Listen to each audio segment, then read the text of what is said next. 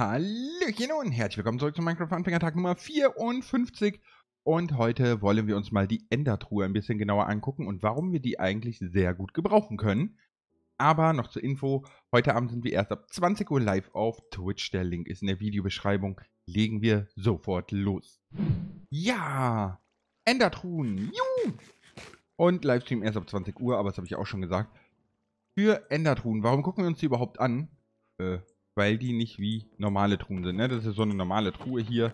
Und dieses Banner soll ich mir noch auf mein Schild machen, hat jemand gesagt. Eigentlich auch eine geile Idee. Können wir das Schild eigentlich irgendwie reparieren? Nee, ne? Ich glaube nicht. Ich glaube, wir können das nicht reparieren. Irgendwie mit Holz oder so. Äh, oder Eisen, maybe. Keine Ahnung. Ist auch nicht so schlimm. Kümmern wir uns ein andermal drum. Es geht jetzt erstmal um Endertruhen. Achso, ich habe jetzt wieder automatisch laufen an. Das Problem ist nämlich äh, Steuer äh, Hüpfen hier. Das Problem ist nämlich, dass ich gerade so ein paar unterschiedliche Minecraft-Versionen durchteste und probiere für neue Projekte und ah, das ist total nervig. Mit dem neuen Launcher muss ich jedes Mal neu Optifine installieren. Total doof. Gut. Ähm, Endertruhen. Für Endertruhen brauchen wir Obsidian. Und wir brauchen ein Enderauge. Dann haben wir eine Endertruhe. Juhu. Das ist ja schon mal gut. So. Jetzt setzen wir hier mal eine Endertruhe hin. Und pass auf, wir machen mal noch eine Endertruhe. Äh hier. Ach komm, wir machen gleich noch zwei. So. Wunderbar. Und jetzt mal nur so als Beispiel. Ich setze jetzt mal hier hin. Wir können die ja mit der äh, Diamantspitzhacke einfach wieder hier nicht abbauen. Wir brauchen Behutsamkeit. Okay, wo ist unsere Behutsamkeitsspitzhacke? Behutsamkeit, da. Da. Ne? Also wenn wir die jetzt hier hinstellen, mit Behutsamkeit, ne, können wir die wieder dann haben wir die wieder. Das Verrückte ist aber erstmal, mh, hm, wenn wir hier jetzt mal die zwei Holz reintun, ne? Wir haben jetzt hier zwei Schwarzeichenholzstämme reingetan. Wenn wir jetzt an diese Truhe gehen, sind die da auch drin. Wenn wir die hier rausnehmen, sind die hier auch leer. Also letzten Endes sind Endertruhen äh, eine normale Truhe, die sich alles teilt. Ja, also überall kann man darauf zugreifen. Und das ist natürlich richtig, richtig, richtig, richtig, richtig, richtig, richtig, richtig gut von Vorteil, wenn wir jetzt mal als Beispiel gerade mal die Elytra anziehen, die Raketen in die Hand nehmen und es wird schon wieder dunkel, ja, egal. So, komm mal her. Und so. Sind wir schon hier. Und dann gehen wir gerade einmal hier runter. La la la la la la la la la la la La la la la la la la la la la la. Für alle, die sich äh, beschwert haben über den Sound und so, ich habe mir ein neues Mikrofon und ein Mischpult bestellt. Sollte bald kommen. Und dann sollte der Sound nicht mehr so dumpf sein, sondern viel, viel klarer. Ja, ne? Guck mal, wir haben hier eine normale Kiste. Die können wir jetzt einfach mal gerade weglöppeln. So. Und äh, wir machen so. Hallo. Jetzt hauen wir den da mal weg. Das Ganze landet da drinnen. Hat er nichts fallen gelassen? Hallo? Könnt ihr mal was fallen lassen, bitte? Äh, landet im Trichter, aber nicht in der Enderkiste. Also das funktioniert nicht. War irgendwie der Annahme, das funktioniert. Das heißt, wir können die Enderkiste nicht mit einem Trichter ansteuern. Okay.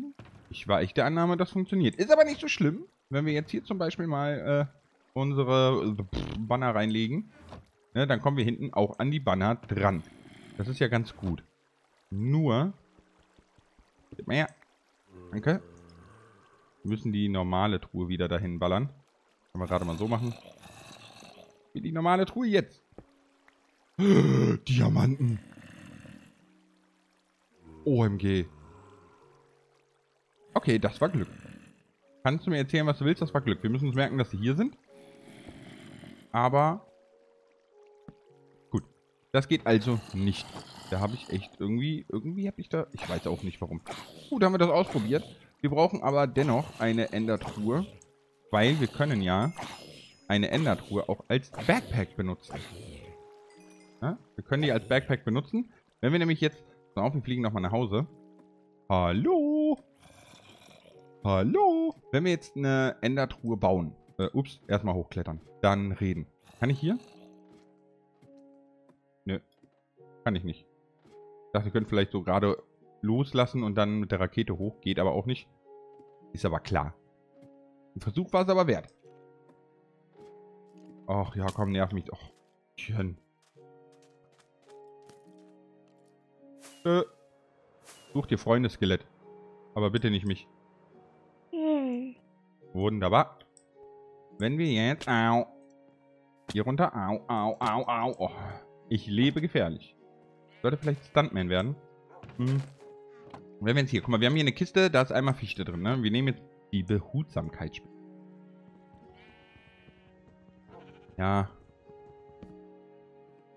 So. Wir können die Kiste nehmen. Da liegt aber jetzt der äh, Fichtenstamm. Guck, nichts mehr drin. So. Wenn wir jetzt aber die Endertruhe nehmen. Wir stellen die mal dahin und knallen da mal die fünf Banner rein. Bauen die ab. Nix fünf Banner hier.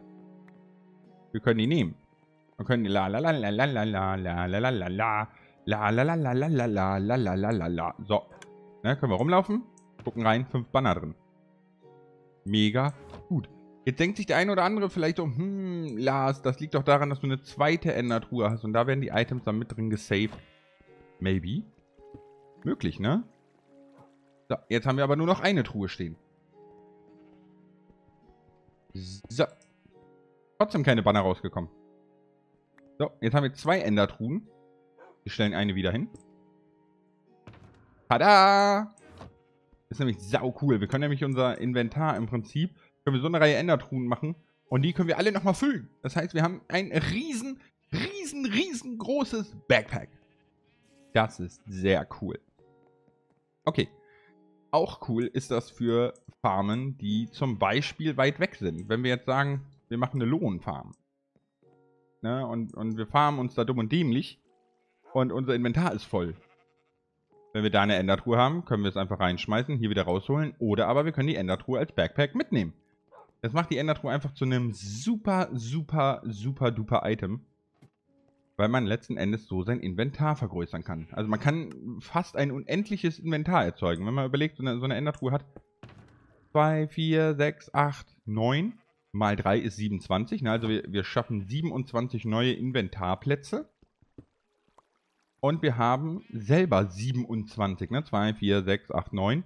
Das wäre 27 mal 27 Slotplätze, die wir hätten. Das sind, mal grob überschlagen, 540 und 7 mal 27 sind nochmal 140, sind 680. Und äh, 7 mal 7 sind 49, sind 4, 729 Plätze, die wir dann haben und nicht diese hier. okay, also es ist übertrieben groß. Und das ist halt eigentlich das wirklich Coole daran. Man braucht halt eine Behutsamkeitsspitzhacke. Das sollte einem klar sein. Was es aber auch noch gibt, müssen wir mal gerade gucken. Schalkerkisten. Dafür brauchen wir zweimal Schalkerschale, eine Truhe. Wir hatten die Schalkerschalen ja schon aus dem End, aber wir sind leider gestorben. Weil mit Schalkerkisten geht das auch. Oder Schalkerboxen. Jetzt bin ich mir nur nicht sicher, ob ich da eine Behutsamkeitsspitzhacke brauche. Ich muss, würde das gerade gerne einmal ausprobieren. So, probieren wir das mal aus. Wir haben hier zweimal Schalkerschale. Ich war gerade ganz spontan im End. So. Äh, ich könnte mal diese ganzen Armbrüste schmeißen, ne? Die nerven ja nur. Will ich denn mit diesen 1000 Armbrüsten? Die können wir zwar auch noch machen, aber die sind ja alle Schrotto und billig und weiß ich nicht. Einfach mal hier drinnen gelassen. Hm. Ja, wir haben ja... Pass auf. Ne, wir brauchen eine Truhe. Wir machen gerade mal so.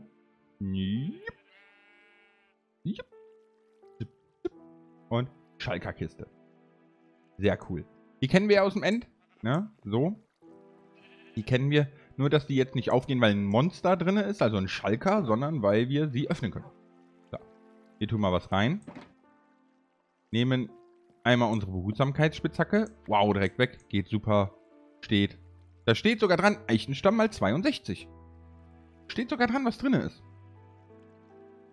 Super gut. Wenn wir die jetzt nochmal hinstellen, ist noch drin, ne? Wenn wir die mit der Faust abbauen, das dauert. geht das sogar auch. Das heißt, die Schalker-Kiste ist sogar das bessere Backpack-Item, weil wir keine Behutsamkeit brauchen. Aber wenn man natürlich schon im End war, dann hat man wahrscheinlich auch eine Spitzhacke mit Behutsamkeit. Also, ich glaube, das ist egal.